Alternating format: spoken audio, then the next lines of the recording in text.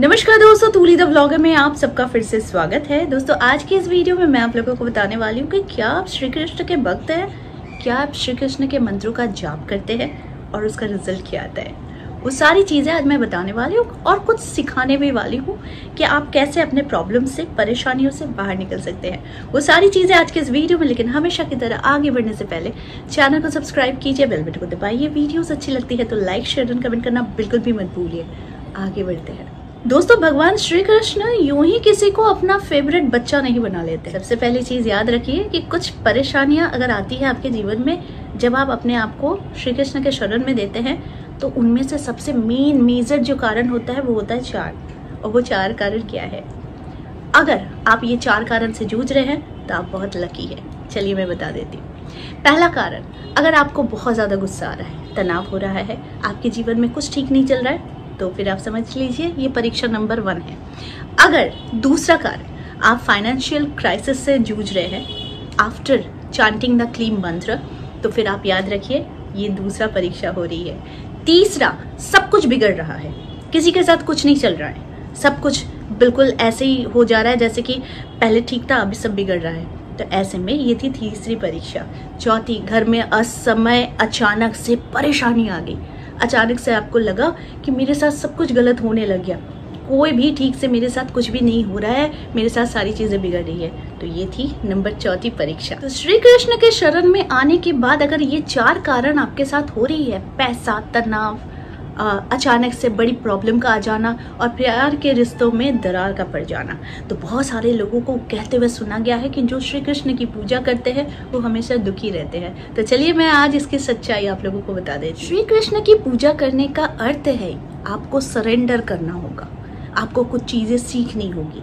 संयम, सबसे बड़ा जो सीख श्री कृष्ण देते हैं, वो है संयम। और वो पूछिए क्यों?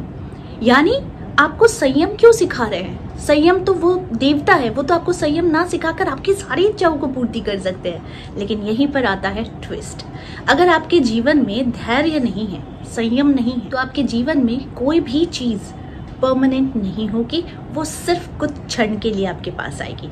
लेकिन वहीं पर अगर आपको धैर्य है, संयम है तो आपको श्री कृष्ण हर तरफ़ से बलवान भी बनाते हैं और आपको बहुत ज़्यादा जागरूक भी बना देते हैं।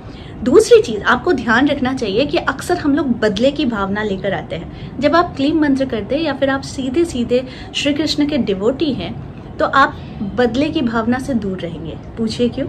क्योंकि श्री कृष्ण आपकी भी मन की बात को पढ़ रहा है, सुन रहा है और आपका जिसके साथ द्वंद्व चल रहा है उसकी भी मन की बातों को सुन रहा है और समझ भी रहा है।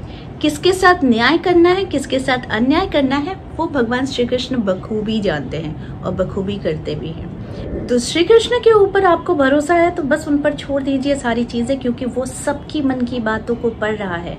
अगर आपने अपने प्रॉब्लम्स में सिर्फ़ शांत होकर, धैर्य होकर, अपनी समस्याओं को सिर्फ़ देखे सोचे, समझे और इससे बाहर निकलने का अगर समाधान ढूंढते हैं और सिर्फ़ एक स्माइल के साथ अगर आप निकलते हैं तो फिर आप देखिएगा श्री कृष्ण जो भी आपके साथ अन्याय करता है, जो भी आपके साथ आपकी विरुद्ध में जाता है या फिर आपकी अच्छाई का फ़ायदा उठाता है तो उसे पनिशमेंट ज़रूर देते हैं। पनिशमेंट देने वाले आप कोई नहीं होते हैं। सिर्फ़ और सिर्फ़ ईश्वर पर छोड़ दीजिए, क्योंकि आप अपनी बुद्धि तक ही करेंगे जितना आपका समझ है। लेकिन श्री कृष्ण ये आपको वैसी वैसी सारी चीज़ों से बाहर निकालेंगे जो उनके सामर्थ्य में है। तो इसीलिए सारी चीज़ें बिल्कुल छोड़ दीजिए उनके शरण में और उनकी द्वारा आपको जो भी परीक्षा का सामना करना पड़ रहा है, उस परीक्षा को आप हँसते हुए निकालिए। मालूम है कि परेशानी जब आती है तो बहुत ही ज़्यादा परेशान करने के लिए आती है। तभी इसका नाम परेशानी है। ये कभी भी सुख लेकर परेशानी नहीं आती है। तो इसीलिए परेशानी को परेशानी ना समझकर इसे समझिए कि ये श्री कृष्ण का खेल है और ये श्री कृष्ण की परीक्षा है जिसमें मुझे पास होना है, तभी जाकर मैं उनका फेवरेट स्टूडेंट बनूँगा। और जब आप किसी के फेवरेट स्टूडेंट बन जाते हैं तो वो समझ लीजिए कि आपका बेड़ा पार लग जाता है, क्योंकि उस वक्त आपके ऊपर एक ऐसे शिक्षक का हाथ होता है, जो आपको बहुत कुछ सिखाना चाहता है और आपके जीवन में आपको एक स्ट्रॉन्गेस्ट पर्सन बनाना चाहता है। इसीलिए अगर आप क्ली मंत्र का जाप करते हैं, आप श्री कृष्ण के डिवोटी है और आपको अपने जीवन में बहुत सारी समस्याओं से जूझना पड़ रहा है तो बस हंसकर इसे चुटकियों में गायब कीजिए, क्योंकि श्री कृष्ण जब देखेंगे कि ये स्टूडेंट अच्छा है और मेरे हर प्रश्नों को ये सटीक तौर पर आंसर दे रहा है तो इसका मेरे पास होना बहुत ज़रूरी है। यही एक ऐसा भक्त है जो मेरे साथ रहने के लायक है। भगवान श्री कृष्ण के जीवन में भी बहुत सारी चीज़ें बहुत स्मूथ नहीं थी, लेकिन फिर भी उन्होंने हंसकर टाला था। क्यों? क्योंकि उन्हें मालूम था कि जहाँ अंधेरा है, वहाँ सवेरा भी है। तो इसीलिए आप अपनी समस्याओं को समस्या ना समझिए, बल्कि समझिए एक परीक्षा है। जब आप परीक्षा में उत्तीर्ण हो जाते हैं, पास कर जाते हैं तो आपको ही ज़्यादा खुशी मिलती है है ना? इस समय बहुत ज़्यादा परेशानी में अगर आप हार मान जाते हैं और आपको ईश्वर के ऊपर से अगर भरोसा हट जाता है तो आप कभी भी किसी भी चीज़ को बहुत ज़्यादा लॉन्ग टर्म के लिए रन नहीं करा सकेंगे। आपके जीवन में सारी चीज़ें क्षणिक भरी होगी परमानेंट नहीं होगी।